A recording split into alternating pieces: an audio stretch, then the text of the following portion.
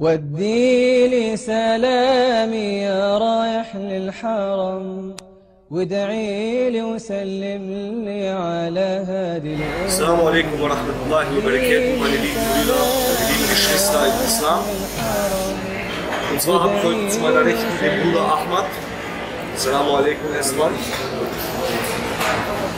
Warum ich den Bruder Ahmad genommen habe, das will ich euch kurz erklären, bevor ich überhaupt das Thema anspreche. Und zwar habe ich den Bruder Ahmad aus dem Grund genommen. Der Bruder Ahmad ist bekannt, man kennt ihn in München, sein Gesicht ist bekannt.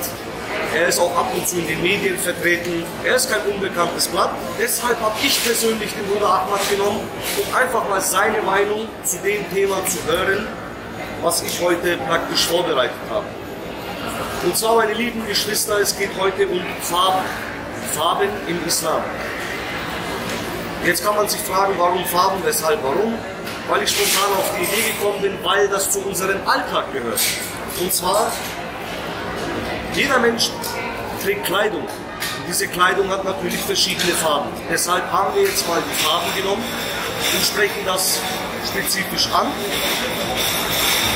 Genau, das ist der Grund. Und ich würde auch sofort anfangen mit der ersten Farbe. Und zwar die Farbe Schwarz. Jetzt zu unserem Bruder Ahmad. Lieber Bruder Ahmad, wir haben ja einiges vorbereitet. Und zwar gibt es viele Geschwister, die die Farbe Schwarz tragen, die die Farbe Schwarz mögen. Sei es Pullover, Hose, Jacke, je nachdem. Im Alltag trägt man gerne Schwarz. Ich glaube, das ist bekannt, das ist eine neutrale Farbe. Und genau. Folgendes, Bruder Ahmad, und zwar, es gibt einen Hadith vom Propheten sallallahu alaihi wasallam, der überliefert wurde von Jabir radiallahu an, der sagte, ich sah den Gesandten Allah sallallahu alaihi wasallam am Tag der Eroberung von Mekka, wie er einen schwarzen Turban trug. Und dies wurde überliefert in Muslim. Dann gibt es, erwähne ich jetzt mal noch einen Hadith, natürlich gibt es mehrere, aber wir wollen das Ganze etwas kurz fassen. Deshalb werde ich noch eins, einen Hadith erwähnen. Und zwar, was mir persönlich auch gefallen hat. Das ist von äh, um Khalid bin Khalid, die sagte, dass der Prophet sallallahu alaihi wasallam wurden zwei Kleidungsstücke gebracht. Ja? Unter denen ein kleines schwarzes Kleidungsstück. Ja? Und er sagte, der Prophet sagte, sallallahu alaihi wasallam, wem denkt ihr, sollen wir dies geben? Und die Leute blieben erstmal still. Ja? Da sagte er, bringt mir um Khalid. Und natürlich wurde sie zu ihm gebracht. Ja? Er nahm das Kleidungsstück in seine Hand, legte es auf sie und sagte, mögest du lange leben und es dementsprechend abtragen. Ja? Und darauf gab es ein grünes und ein gelbes Muster. Genau, das war ein, zwei Überlieferungen, natürlich gibt es mehrere. Und jetzt meine Frage an den Bruder Ahmad. Was sagt der Islam? Also was sagen die Gelehrten zu der Farbe Schwarz, Bruder Ahmad? Ist es Männern und Frauen erlaubt, diese Farbe, diese Farbe zu tragen? Ist es vielleicht sogar erwünscht? Ist es nicht erwünscht? Ja? Und wie ist es, wenn Menschen trauern, weil jemand gestorben ist, dann trägt man ja hier in dem Land, in Deutschland, wo wir leben, bekanntlich die Farbe schwarz.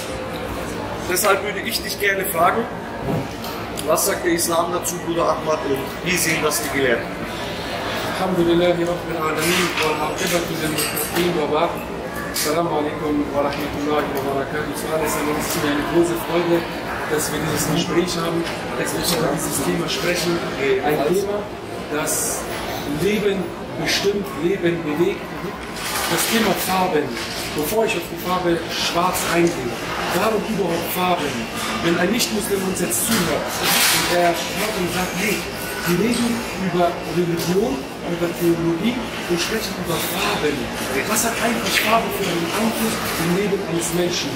Die Frage nach Farbe ist die Frage nach Macht.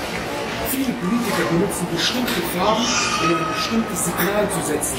Wir wissen, Farbforscher, die haben die eine und dieselbe Frau zwei verschiedene Farben tragen lassen. In einer Farbe ist sie nicht aufgefallen, in der anderen Farbe war sie attraktiv.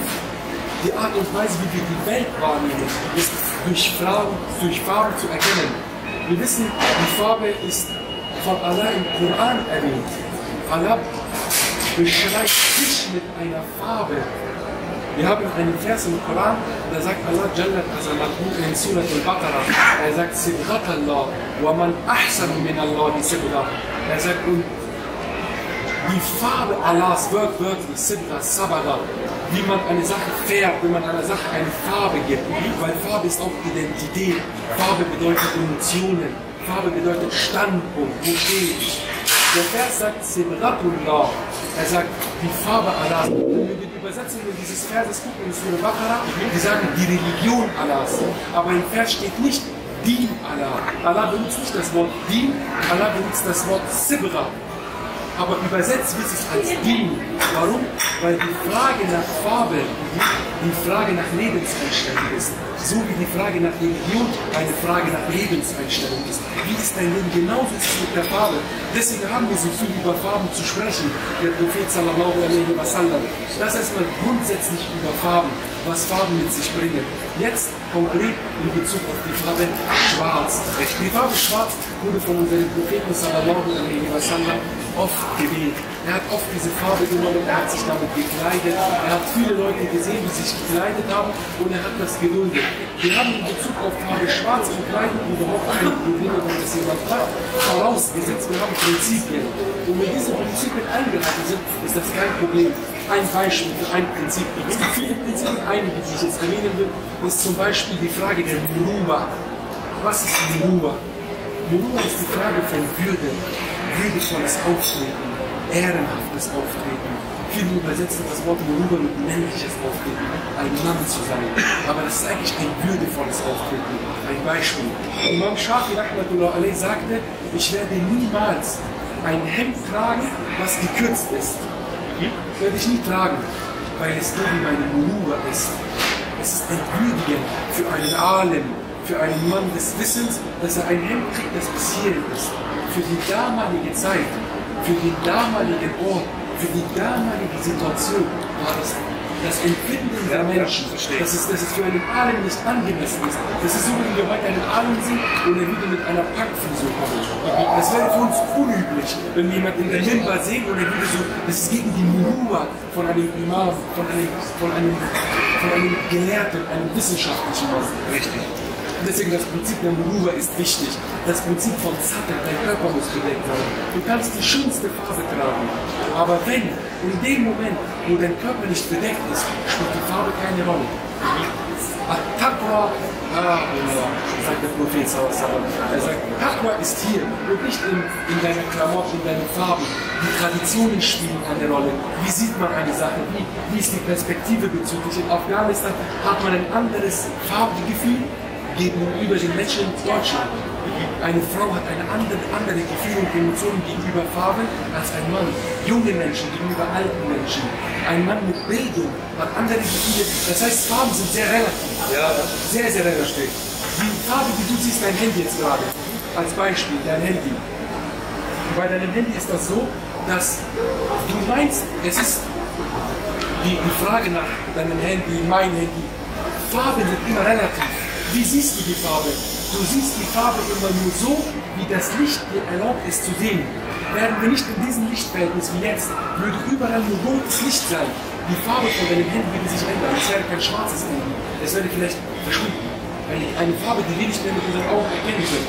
Das Licht erlaubt uns, die Farbe so zu sehen, wie es ist. Im Grunde genommen, unsere Augen täuschen uns. Diese Farbe Blau ist nicht mehr blau, wenn wir nur noch gelbes Licht vor uns haben. Sie hat eine ganz andere Farbe. Das heißt, es kommt darauf an, welches Lichtverhältnis ist, dass wir über Farbe sprechen. Und das wusste unser Prophet sallallahu alaihi wasallam. Allah benutzt das Wort Sigratullah. Warum? Weil in Farben steckt Wunder. In Farben steckt Genialität. Und um, um zusammen wieder zurückzukommen zu der Frage Schwarz, Schwarz ist erlaubt. Schwarz ist erlaubt. Alhamdulillah. Vielen Dank, Bruder Ahmad. da wir jetzt schon bei der äh, Farbe Schwarz sind, würde ich gerne eine Frage anknüpfen. Und zwar folgendes. Äh, wie ist es, wenn man sich die Haare, seines Kopfhaare, seines Barthaare, mit der Farbe Schwarz färben möchte? Was sagen die Gelehrten dazu? Prinzipiell unterscheiden wir, wir sagen Färben. Ist überhaupt Färben erlaubt oder nicht? Wir haben die Meinung bei den Gelehrten, die sagen, das Färben von Haaren ist Mandu. Es ist empfehlenswert, es ist sehr, sehr gut. Einige Gelehrte schreiben sogar, sie sagen, es ist Sunnah. Die meisten sagen, es ist keine Sunna, weil wir vom Propheten wasallam keine hundertprozentige Bestätigung haben, dass wir sagen können, also einen unumstrittenen Beweis haben, dass wir sagen können, Haare färben, Bart färben ist unbedingt ein Sunna oder keine Sunna, aber wir wissen, Sayyidina Abu Bakr, Sayyidina Umar, die haben die Haare gefärbt und deswegen ist es erlaubt. In Bezug auf welche Farbe, in Bezug auf die Farbe schwarz gibt es verschiedene Meinungen. Du wirst alle, alle wirst du finden, wirst sehen, es ist, einige werden sagen haram, einige werden sagen, es ist verpönt. Aber wenn wir genau auf die Farbe schwarz blicken, Farbe schwarz, wenn ein Mujahid, der situationsentsprechend, jemand, der im Dschihad ist, so eine Person hat die Aufgabe, tapfer zu sein, jung und kräftig Ausstrahlung zu haben, damit er mit seinen Augen seinem Gegner in Augenhöhe begegnen kann. Und dieser Moment ist für diesen Menschen es gut, wenn er seine Haare schwarz. Und in Bezug auf Eheleute, wenn eine Ehefrau für den Ehemann oder ein Ehemann für seine Ehefrau, haben wir viel gestraft, wir haben viel Rechtsschule sagt meistens nein, aber Imam Abu Yusuf, einer der großen Berge in der hanafitischen Rechtsschule, er sagt, ja, äh, man kann es tun ohne irgendwelche Bedenken. Dann haben wir das, ein wichtiges Thema, was wir nicht vergessen dürfen, ist das Thema mit Bewerbungsgespräch. Dann ist es nicht erlaubt weil es Betrug ist. Und Nabi sallallahu alaihi wa sallam sagt, man raschana falaysa minna.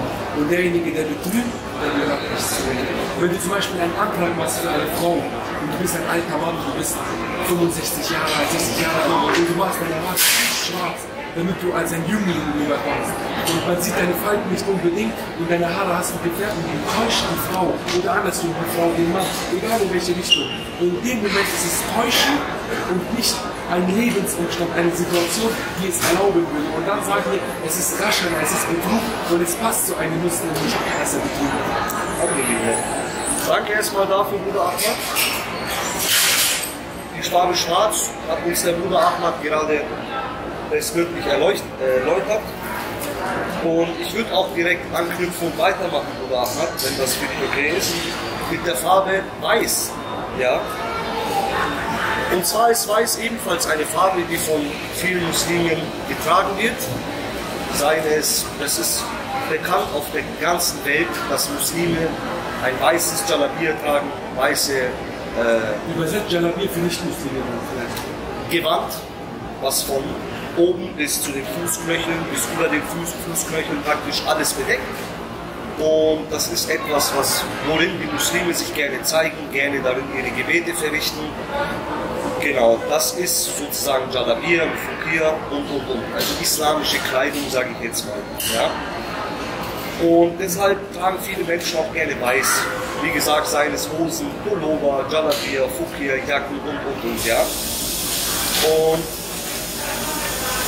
da würde ich auch gerne, Bruder Ahmad, einen Hadith erwähnen oder vielleicht zwei Hadithe und mich auch da etwas kurz fassen. Und zwar, ich würde jetzt gerne den Hadith nehmen vom Propheten sallallahu alaihi wasallam, der sagte, tragt eure weiße Kleidung, denn dies ist die beste von eurer Kleidung und wickelt eure Toten darin ein.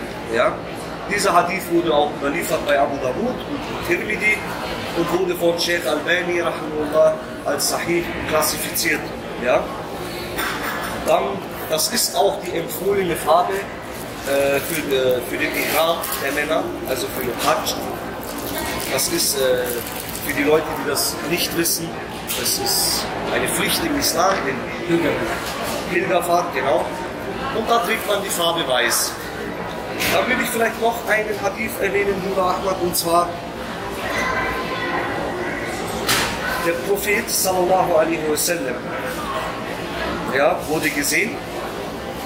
Zur Linken des Propheten und zu seiner Rechten waren zwei Männer, ja, die weiße Kleidung trugen, ja, die zuvor niemals gesehen wurden. Diese zwei Männer waren Jibril und Mikael, ja, wie Hafiz ibn Hajar in Al-Fath erwähnte. Ja. Das waren jetzt mal zwei Überlieferungen zu der Farbe Weiß, warum, warum ich praktisch Farbe Weiß nehme. Und da wäre meine Frage, Bruder was sagt der Islam denn zu der weißen Farbe? Ist es Männern und Frauen gestattet, diese Kleidung zu tragen? Ist es vielleicht sogar erwünscht, empfohlen oder verpönt, makruh? Ist es vielleicht sogar haram? Ja? Und dazu würde ich gerne deine Meinung hören, Bruder Ahmed. Weiß ist ein, ein, ein, ein, Phänomen. In der Farbe Weiß erkennen wir viele, viele Phänomene. Eines der wichtigen Punkte, die wir erwähnen sollten, ist, wir wissen von, ähm, von Luqman Hakim. Luqman Hakim ist eine Person, einige sagen, er war ein Prophet, einige sagen, er war ein Asket, ein großer Gelehrter. Keiner Luqman Hikma heißt es im Koran. Und wahrlich, wir gaben Luqman große Weisheit. Also ein, ein großes Wissen. Man hat sich über Luqman lustig gemacht. Man hat zu ihm gesagt, ja Luqman, du schaust aber komisch aus. Einige sagen, weil er schwarze Hautfarbe hatte, andere sagen, weil er früh weiße Haare hatte. Und darauf hat Luqman etwas sehr Schönes geantwortet, als die Leute ihn, sich lustig über ihn gemacht haben. Er hat gesagt, Ataibu bihada ala nakshi au. Machst du dich gerade lustig über den, der gezeichnet wurde, erschaffen wurde von Allah, oder über den, der ihn gezeichnet hat. Über den gezeichneten, über den Zeichner. Über wen machst du dich lustig? Den du dich über mein Aussehen lustig machst. Ich finde es schade, dass viele Leute das vor der weißen Haarfarbe Angst haben und sagen, nein, ich muss es färben und alles. Sayyidina Ibrahim, es steht im Mubarak von Imam Malik, wenn ich nicht täusche, dass Sayyidina Ibrahim wassalam Dua gemacht hat, ja Allah, gib mir weiße Haare. Ja Allah, gib mir weiße Haare.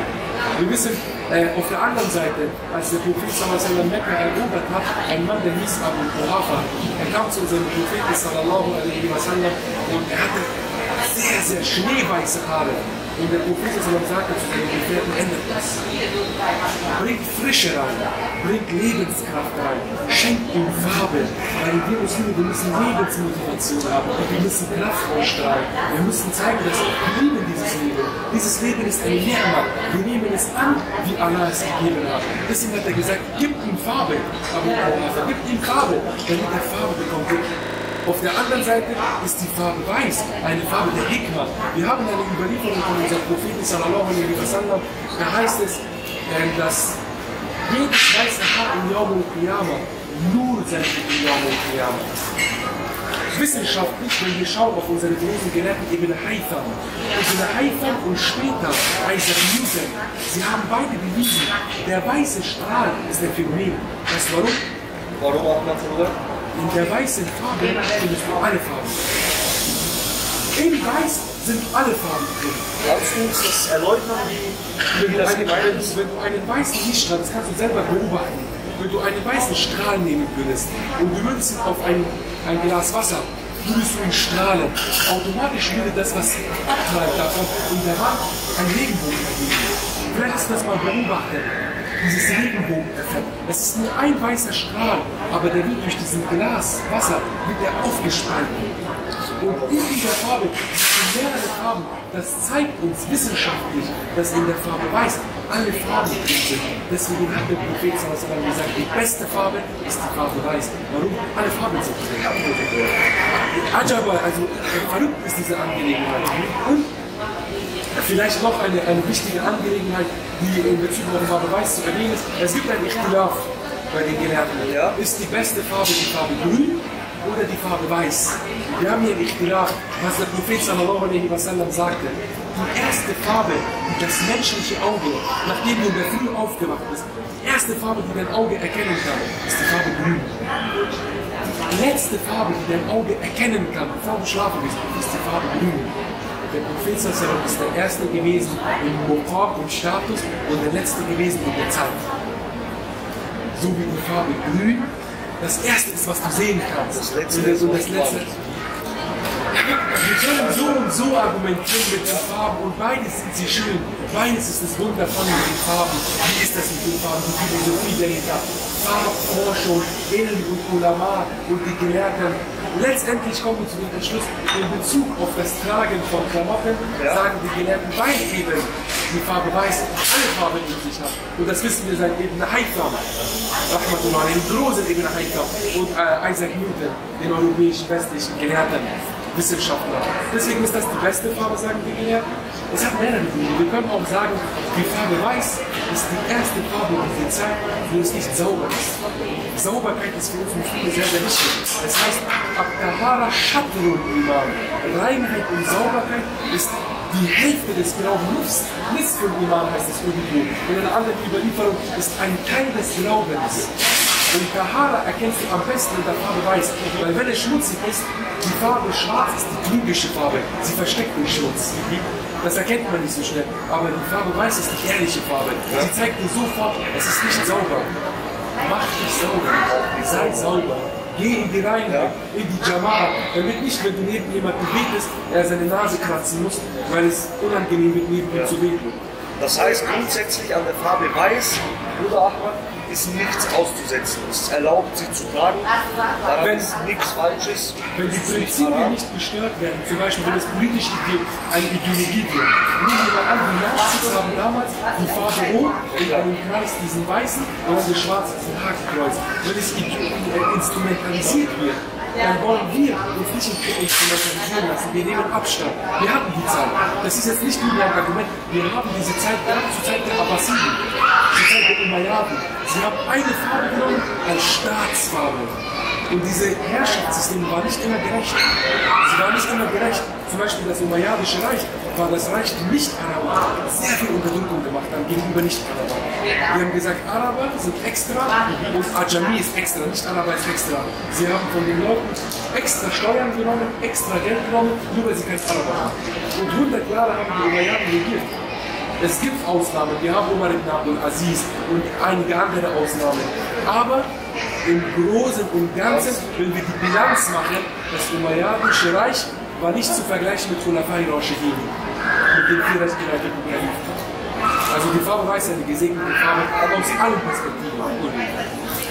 Vielen Dank dafür, Bruder Ahmad. Die weiße Farbe wurde jetzt auch erläutert von unserem Bruder Ahmad. Und ich würde direkt weitermachen, Bruder Ahmad. Und zwar hatten wir jetzt die schwarze Farbe, wir hatten die weiße Farbe. Jetzt gibt es die Farbe, die mir persönlich auch gefällt. Und zwar, das ist die Farbe grün. Bruder Ahmad, die grüne Farbe im Islam.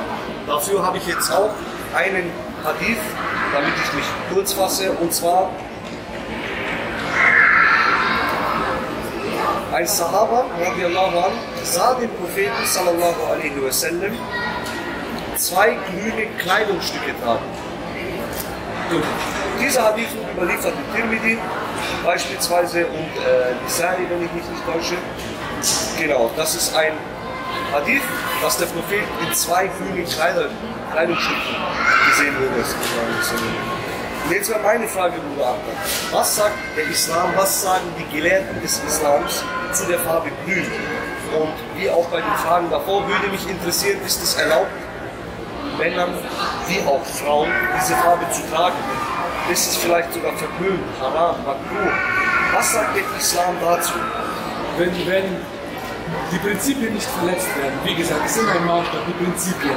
Wenn diese Prinzipien nicht verletzt werden, mein Körper ist bedeckt, ich werde politisch nicht instrumentalisiert ähm, und so weiter, die Murua-Frage, all diese Dinge, wenn das alles stattgefunden hat und es, es gibt viele Faktoren. In einem Land, wo eine bestimmte Farbe ein Luxusartikel ist und wir äh, nicht Leute sind, die den Luxus anprangern. Also wir wollen nicht uns als reiche Menschen darstellen. Es gibt kein Problem, wenn wir reich sind. Aber wir wollen den Leuten nicht unbedingt zeigen, wir sind die Reichesten und wir haben. Wir sind Muslime, wir leben in Demut.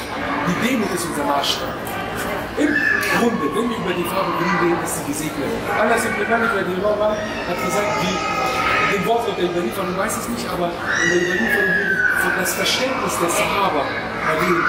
Die Sahaba haben es so vom Propheten verstanden, dass er die grüne Farbe am meisten liebte. Die Farbe ist eine gesegnete Farbe. Ich habe schon vorhin gesagt, dass allein von, von, von der Farbforschung her hat man gesehen, dass es das Erste ist, was wir erkennen. Das Letzte. Und das Letzte. Stimmt, das wurde erwähnt.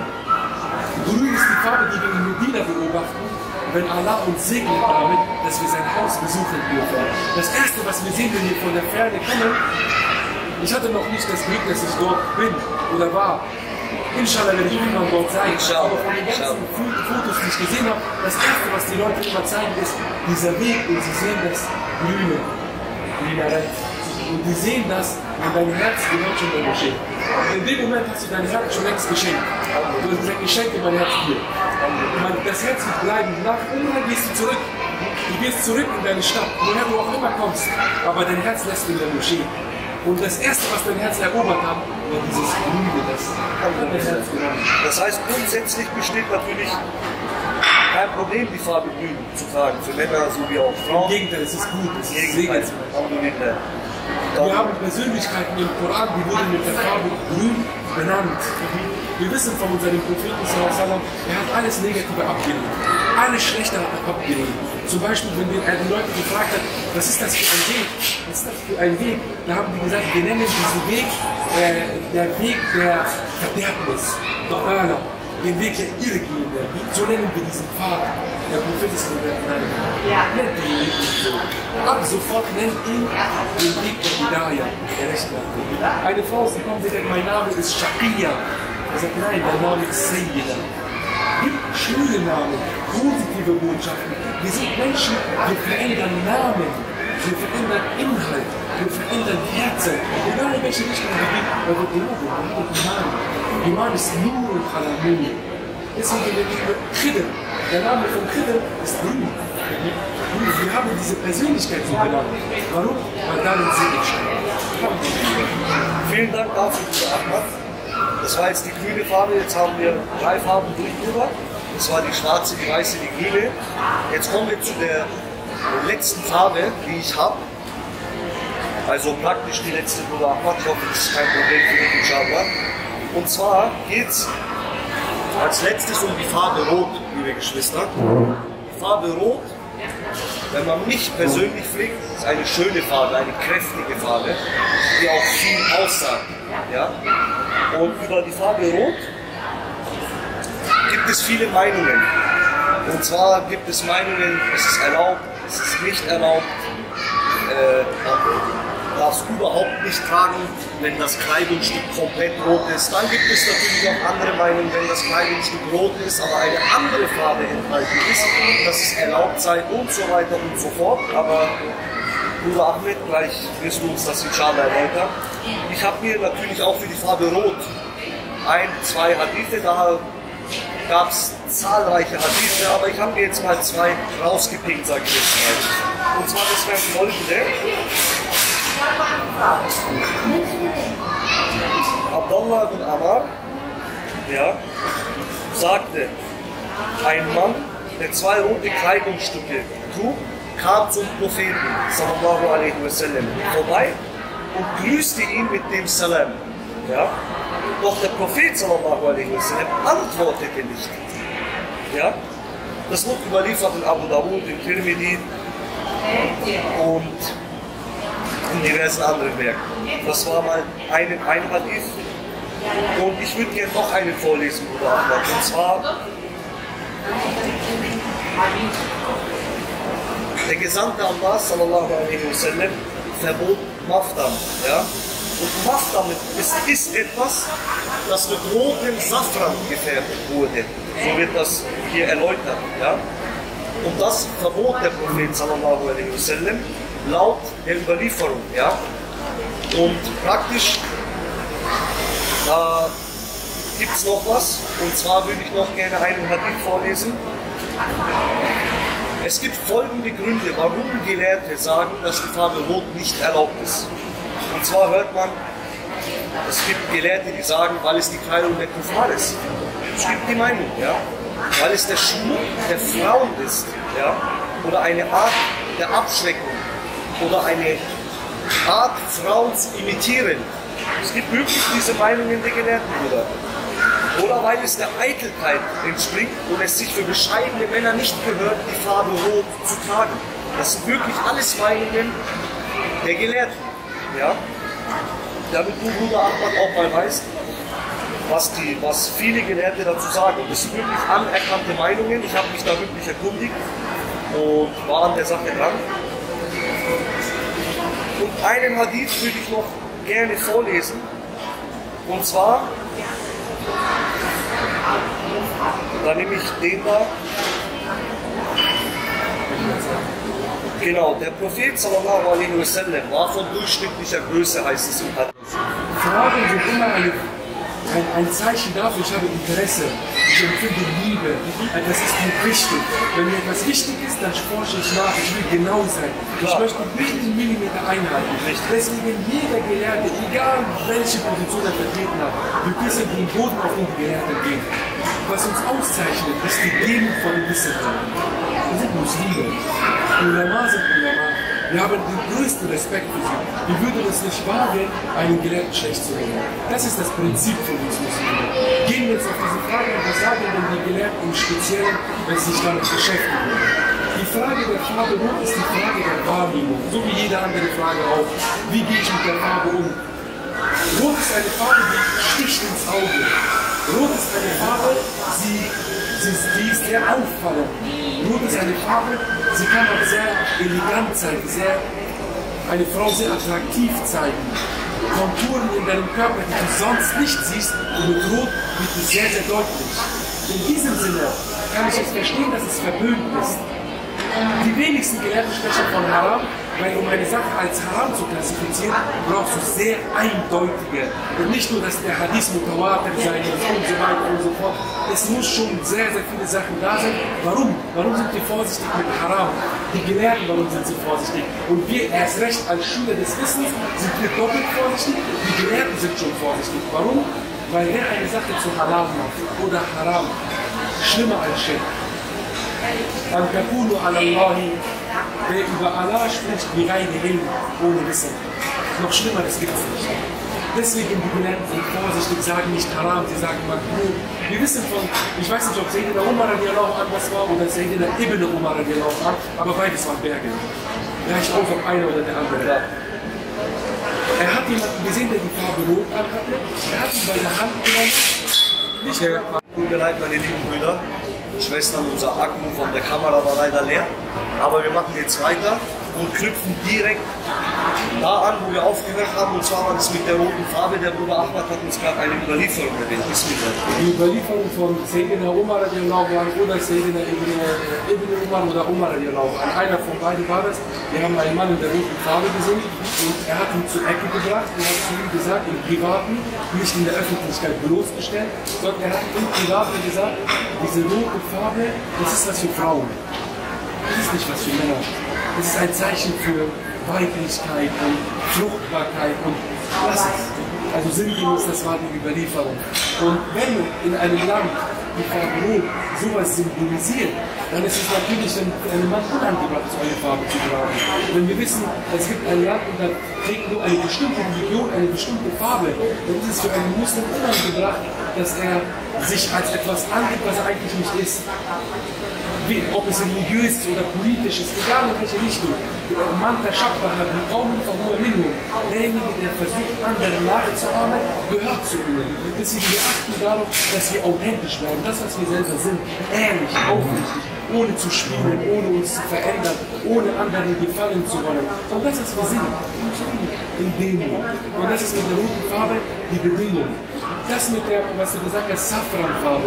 Einige Gelehrte sagen, dass explizit nur die Safranfarbe, das Rot und das Gelbe davon, dass man das macht, das ist Makruh, nicht Haram, sondern Makruh, aber die anderen, die hergestellt werden, das ist erlaubt. Und auch nur diese grellen Rot, wenn es eine dunkelrote Farbe wäre und Abschwächungen wären oder mit Mustern versehen wäre, diese werden alle erlaubt. Auch wenn es um, um, um Turban geht, einen roten Turban oder wenn es um einen roten Bart geht, Henna, alles empfohlen, alles nicht verboten. Das heißt, wenn die rote Farbe, sage ich jetzt mal, chemikalisch hergestellt wurde oder anderweitig gefärbt, Nee, dann ist das okay, inshallah. Sagen wir mal nicht safranmäßig, Nicht anders. safranmäßig, ja. Wie auch immer das ist, wir kennen uns beide nicht so gut aus mit der Herstellung von Klamotten Ja, und. Chemie und allem. Deswegen, egal wie alles nicht safranmäßige, Ja. würde darunter bei vielen Gelehrten gar nicht mehr unter die Kategorie fallen. Und bei Rot im Allgemeinen, wenn es um Turban geht, um dein Bart geht, um deine Haare geht, um das Färben mit Henna geht, das sogar empfohlen. Wenn ich mich nicht täusche, Sufyan al-Thawri, rahmatullah alayh, hatte sogar rote Haare. Von Natur aus hat er rote Haare. Weil seine Mutter hat ihn zum Lernen geschickt. Wenn ich mich nicht täusche, war Imam Malik rahmatullah alayh oder Ibn Sufyan al-Thawri eines der großen Giganten der islamischen Geschichte. Rote Haare. Und dann hat man gefragt, warum hat er rote Haare? Und die Mutter sagte, weil ich ihn geopfert habe auf dem Weg Allahs, er soll ein Alim werden. Und nach Jahren, nachdem der Sohn ein Alim geworden ist, hat er an der Tür seiner Mutter geklopft und hat gesagt, ich bin fertig, ich will meine Mutter, ich will kommen zu dir zurück. Sie hat die Tür nicht aufgemacht. Und der Sohn sagt, warum machst du die Tür nicht auf? Sie hat gesagt, wenn man einmal jemanden auf den Weg Allahs geschickt hat, darf man es nicht mehr zurücknehmen. Das heißt, wie der Bruder Ahmad schon erwähnt hat, natürlich gibt es verschiedene Meinungen, diese Gelehrten sagen so und so. Man, man trifft auch viele Meinungen, wenn man sich damit beschäftigt. Deshalb, deshalb ist der Bruder Ahmad natürlich auch hier, um uns die Meinungen der Gelehrten wiederzugeben. Und wie wir gerade gehört haben, das wäre nämlich eine anknüpfende Frage von mir, wie das ist, wenn man sich die Haare oder die Kopf, sei es Kopf- oder Barthaare, rot in Richtung Orange, sage ich jetzt mal, gibt es auch viele Brüder, die in den Moscheen gesehen werden, die das rot gefärbt haben im Bart, aber auch orangelich, sage ich jetzt mal. Und da hast du ja gerade erwähnt, Bruder Ahmad, dass das auch okay ist. Und aus diversen Überlieferungen bekannt ist. Orange ist nicht rot. Rot ist nicht orange. Richtig. Genau. Und wie du ja schon erwähnt hast, ist das beides okay, inshallah. Wenn du in Indien gehen würdest, in Indien, bei vielen, vielen Gelehrten ist das Orangene nicht erlaubt. Äh, in Indien. Warum? Weil die Hindus das tragen. Und dann, dann hat man vielleicht, äh, symbolisiert man was Falsches. Es könnte eine Täuschung sein. Und Muslime die meiden jeden Weg, wo es um Täuschung geht. Also es kommt wieder drauf an, die Situation, die Maßstäbe und solange die eingehalten sind.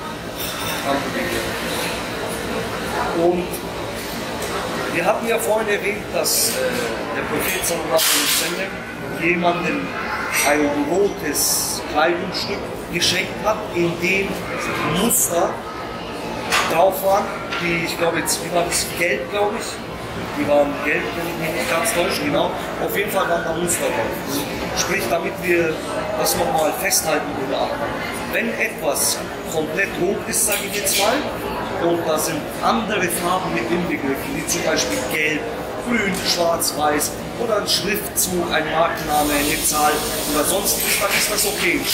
Wenn es nur ein Markenzeichen ist, das ist kein Grund, so ein, kleines Markenzeichen hier an der Seite oder so, das ist zu wenig. Aber wenn es wirklich gestreift wäre, Praktisch ein, viele Brüder tragen ja, weißt du, Adidas zum Beispiel, ein rotes Shirt, sage ich jetzt mal, wo Adidas draufsteht. Und zwar wirklich groß Ja. über die Brust, sage ich Ja, jetzt mal. Das wäre okay. das, das wäre okay. Und die, Sache mit, ob es mit Safran gefärbt ist, nicht mit Safran und die Kultur spielt eine Rolle. Richtig. Also im, im Grunde genommen, die meisten Gelehrten, vor allem die Gelehrten, bei denen ich das gelernt habe, das sind große Gelehrte, bei denen die, und die zitieren dann wiederum andere große Gelehrte. Und worum geht es dann? Die sagen, es kommt auf den Umstand des Landes an, weil diese Farbe Rot ein Ichtilaf-Angelegenheit geworden ist. Wir sind da nicht mehr sicher. Und wenn Rot an und für sich etwas Schlimmes wäre, so wie zum Beispiel Sinne in seiner Natur etwas Schlechtes ist, wenn Rot in seiner Natur etwas Schlechtes Ja. wäre, dann dürftest du auch dein Bart nicht mehr Ja, das kann man nachvollziehen. Und verstehst du, deswegen ist das in seiner Natur nicht. Denn nur der Weg, zu dem es nicht führen kann, und das ist wieder abhängig, situationsabhängig. Richtig. Gut, dann haben wir das schon mal, das, dann haben wir das festgehalten. Und um das nochmal zusammenzufassen, der Bruder Ahmad hat es gut erläutert, Alhamdulillah. Solange etwas nicht mit Safran gefärbt wurde, sei, sei es äh, rot ich glaube gelben Safran gibt es ja auch, dann ist das inshallah okay. Richtig? Und, und Und auch da gibt es innerhalb deren eine Meinung, dass selbst wenn es damit gemacht wurde, haram ist es aus gar keinen Fall.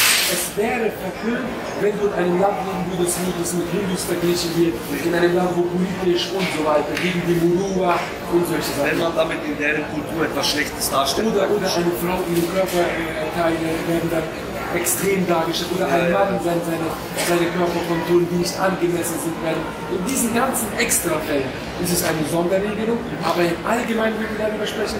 Ist das okay, inshallah? Also es gibt die Meinung, neben auch der Meinung, die sagt Makruh. Es gibt sowohl die Meinung und die. Und dann muss man das mit wissenschaftlich nach islamischen Maßstäben erforschen und sagen, okay, was macht hier eigentlich Sinn? Was macht hier eigentlich Sinn? Alhamdulillah. Eine letzte Frage, Bruder Ahmad, bevor wir das Video beenden. Und zwar, wer noch, sage ich jetzt mal, das ist jetzt nicht speziell eine Farbe, aber ich, wir würden gerne wissen, was sagt der Islam speziell zu grellen, auffälligen, hellen Farben, wenn sie der Mann oder die Frau praktisch trägt, sowas wie Neon zum Beispiel oder etwas, was glitzert oder wirklich auffällig ist. Ich sage jetzt mal so ein knallgelb, kennst du ja bestimmt, oder, oder so ein wirklich sehr helles Grün, wenn die Sonne schon drauf scheint, oder dass das schon reflektiert, ja. Und eben diese auffälligen Farben. Was, was sagt der Islam, was sagen die Gelehrten dazu, Bruder? Sei es Mann oder Frau, weil es ist ja, wie du ja weißt, Bruder, man sieht viele Schwestern, die zum Beispiel ein knalles Pink als Hijab tragen oder so wirklich so ein helles Grün, ja, oder ein sehr helles Gelb. Und ich würde gerne wissen, was sagt der Islam dazu, speziell zu solchen Farben. Wichtig bei solchen Fragen ist immer, man muss eine Sache noch im Kopf haben.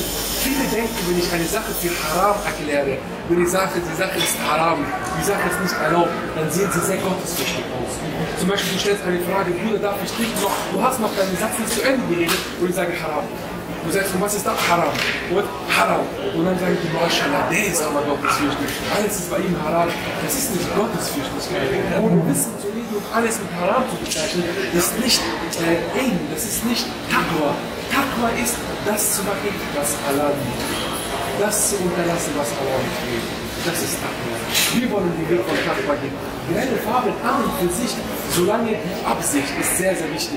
Wir haben Gelehrten wie Abdul Qadir Jilani, wir haben den großen, großen Gelehrten Ibn al-Qayyim, den großen, großen, großen, großen Gelehrten Abu Hamid al-Ghazali. Sie schreiben alle, wenn es um die tiefsinnigen Aspekte der Religion geht, wann wissen wir, wann eine Sünde eine große Sünde ist und wann eine kleine Sünde ist. Und dann kommen sie zu einer, zu einer sehr interessanten Erforschung, die Frage der Nützlichkeit, nützlich, nicht nützlich, die Frage der Absicht, die Frage, wenn ich eine schlechte Sünde tue, schade ich damit meinem Körper, Jawari, meinem Körper, meinen Körpergliedern oder taut meinem Herzen. Zum Beispiel, wenn ich eine Frau anschaue, die ich eigentlich nicht anschauen darf, schade ich meinem Herzen wenn ich über jemanden rede, über den ich nicht reden soll. Das ist Maasiyatu, das ist eine Maasia, eine Sünde, eine Last auf meinem Herzen. Mein Fuß wird nicht Schmerzen bekommen dabei, meine Hand nicht, im Gegenteil. Du verlierst die Kontrolle über Hände und Füße, wenn du so etwas machst, diesen Weg von Haram gehst. Aber dein Herz Dein Herz wird beeinträchtigt. Und dann gibt es Sünden, die beeinträchtigen nicht dein Herz, sondern deinen Körper. Sünden, die dein Herz beeinträchtigen, nach Ibn Qayyim, Abdul Qadir Jilani und äh, Abu Hamid Ghazali und, und, und, Ridwanullah alaihim ajma'in. Nach Israel ist das ein Grundsünde, was dein Herz betrifft. Diese Sache mit Farbe betrifft erst dann dein Herz, wenn du es tust, damit du von einer Frau gesehen wirst, damit du Attraktion, dass du deine Körperteile und Sexualität anregst, ob Mann oder Frau, in beide Richtungen Wenn man sich praktisch zur Show stellt, zur du? Schau stellt, wenn man, wenn man Prestige macht, Ria macht, wo man, wo man eine Anbetung macht, um da aufgefallen zu werden, wenn man unbedingt das macht, weil und so weiter. Ich glaube, du weißt, was ich Ja, meine. ich verstehe voll und ganz, was du meinst. In diesen Aspekten ist es weder für Mann erlaubt noch für die Frau. Auch für die Frau. Ist es aber Grundsätzlich grundsätzlich eine helle Farbe zu tra- tragen, die mich glücklich macht. Du weißt, Bruder, es gibt Farben, die geben mir das Gefühl von Wärme. richtig. Die geben mir das Gefühl von, von Sicherheit. Und es gibt Farben, die geben mir das Gefühl von Unsicherheit. Warum soll eine Schwester die eine Farbe bringen, die sie einfach glücklich macht. Etwas, es klingt ein bisschen freakmäßig, ein bisschen verrückt, aber es ist gar nicht verrückt, es ist Psychologie, es ist die Wahrheit. Geh nach Hause und mach deine weiße Wohnungswand in deinem Wohnzimmer, mach sie mal schwarz. In zwei Tagen, du willst nicht mehr in die Wohnung rein. Ja, klar. Die Stimme ist, Ja, ja, es passt nicht. verstehe. Und wenn du deine Zimmerwand äh, orange machst, eine Woche ist sie schön, nach vier Monaten, du kannst in die Zimmer nicht mehr reingehen. Warum? Das hat einen Einfluss auf dich. In der Psychologie ist das nicht zu leugnen. Warum ist die Farbe, die Frage der Farbe eine gefährliche Frage, so wie Musik? So wie Musik. Weil es im Unterbewusstsein Es beeinflusst deine Gefühle. aber nicht nur die Gefühle, im Unterbewusstsein, Farben prägen dich und du hast eine Meinung im Unterbewusstsein. Und immer wenn es um Unterbewusstsein geht, wird die Frage eine sehr gefährliche Frage, weil du keine Kontrolle darüber hast. Du, du, merkst, du merkst es gar nicht, im Unterbewusstsein automatisch hast du schon eine Meinung. Und dann bist du in der Gefahr. Deswegen ist Alkohol verboten. Du verlierst die Kontrolle über dich selbst, ohne es zu merken. Haschisch, Drogen. Du darfst nie deine Kontrolle über dein Ackeln verlieren. Farbe und Musik sind Sachen in der Psychologie. Du verlierst die Kontrolle. Oder du urteilst ohne zu merken, Unterbewusstsein, diese Farbwahrnehmung. Deswegen ist die Frage eine sehr wichtige Frage, eine sehr gute Frage und gleichzeitig eine Frage, die du beachten musst. Du musst auch überlegen, dass der Prophet so viel über Farben geredet hat. Das ist die Hikmah weil Farben so essentiell sind in unserem Leben. Es gibt Firmen, sie zahlen Milliarden für eine Farbe und sie erlauben es nicht, dass du die Farbe nur wegnimmst weil sie sagen, diese Farbe symbolisiert, was die Zeit betrifft. Wir stehen da. Repräsentiert uns Und deswegen eine Schwester, die die Farbe tragen will, Marhaba, wenn diese Nägel angehalten sind, ja, wenn ja, wir auf dem Boden bleiben, wenn wir den Bodenkontakt nicht verlieren. Das war's schon von meiner Seite. Liebe, ich danke dir für dieses Gespräch. Ich habe zu danken für das Gespräch. Vielen Dank. Für diese Danke eine, eine andere Sache, für die ich dir auch danke, ist diese Offenheit, diese schönen Gespräche, die wir miteinander machen konnten. Der wasallam sagt immer, wenn wir mit einem Gespräch zu Ende haben, und er ist unser Vorbild, er sagt, "Ma kana min sawabi fa min Allah." wenn das, was ich gesagt habe, richtig ist, war es von Allah. Und man kann min Khatari. Und wenn der Khatar ist, ein Fehler ist, ein Flug, ein, ein Fehl, Fehlentscheidung ist, von min Nafsin habe ich war es von Ego oder von Deswegen ich mich nochmal recht herzlich bei dir bedanken. Bruder. Vielen Dank für die Zeit, die du dir genommen hast, für die Erläuterung und an die Geschwister da draußen. Es gibt immer Meinungsverschiedenheiten, liebe Geschwister, immer. Ja? Sogar die Sahaba hatten Meinungsverschiedenheiten untereinander, sie einen und denselben Lehrer hatten. Ja? Deswegen machen wir uns damit nicht verrückt. Der Bruder Ahmad hat uns Meinungen der Gelehrten weitergegeben, wie es mit diesen Farben ist. Ja? Und auch wir beide, 200, die hier sitzen und die sich unterhalten mit Latte Macchiato und Zucker. Haben auch Meinungsverschiedenheiten miteinander. Vielleicht vertritt der Bruder eine Meinung, die ich nicht vertrete, und ich vertrete eine Meinung, die mein Bruder Ahmad nicht vertritt. Vielleicht magst du ich hasse und ich liebe Farbe. Richtig, liebe Geschwister. Und das ist eben der Punkt. Wir respektieren uns, wir lieben uns für Allah. Und wie gesagt, jeder hat Meinungsverschiedenheiten. In diesem Sinne, danke fürs Zuschauen. Assalamu alaikum. نور وجلال يغشاها يحرسها ربي ويراها اذكرني أمامها وادعي لي وادعي لي هنيئا هنيئا يا رايح للهادي